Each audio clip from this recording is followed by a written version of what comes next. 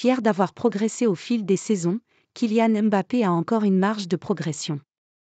L'attaquant du Paris Saint-Germain n'est pas un spécialiste des coups francs directs. Cependant, d'après son ancien coéquipier Adil Rami, c'est lors des entraînements que l'international tricolore brille dans cet exercice. Déjà étincelant à ses débuts sur le rocher, Kylian Mbappé n'est plus le même quelques années plus tard. L'attaquant du Paris Saint-Germain a franchi plusieurs caps pour devenir l'un des tout meilleurs joueurs au monde. Bien sûr, son évolution a nécessité du travail à l'entraînement, toujours avec l'objectif de devenir plus complet et imprévisible pour ses adversaires. Mbappé a élargi sa palette. Avoir plusieurs options pour un attaquant, c'est primordial parce que des fois tu réfléchis et d'autres fois tu ne peux pas réfléchir. Il faut de l'instinct et ça vient avec le travail, a expliqué l'ancien monégasque dans son récent entretien accordé à Prime Vidéo. Mais maintenant que j'ai ça, j'essaie d'avoir une palette aussi large que possible. Parce que quand tu veux mettre autant de buts dans une saison comme je suis en train de le faire, il faut avoir plusieurs cordes à son arc.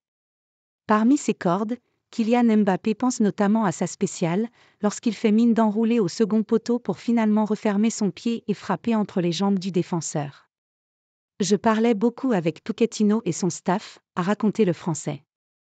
On bossait beaucoup et on analysait le fait que j'avais mis tellement d'enroulés au deuxième poteau que les gardiens étaient déjà positionnés là-bas.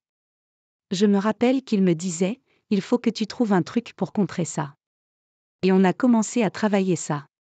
Ainsi, l'international tricolore est peu à peu devenu une référence, même s'il possède encore une marge de progression.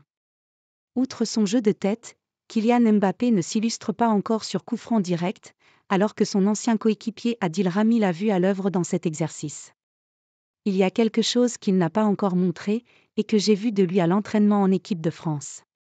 Peut-être qu'un jour il le fera en match. C'est qu'il tire très bien les coups francs, a confié le consultant. Il a une frappe flottante, elle est incroyable. Je ne sais pas pourquoi il ne cessait pas plus. Sans Neymar et Lionel Messi cette saison, le numéro 7 a le champ libre.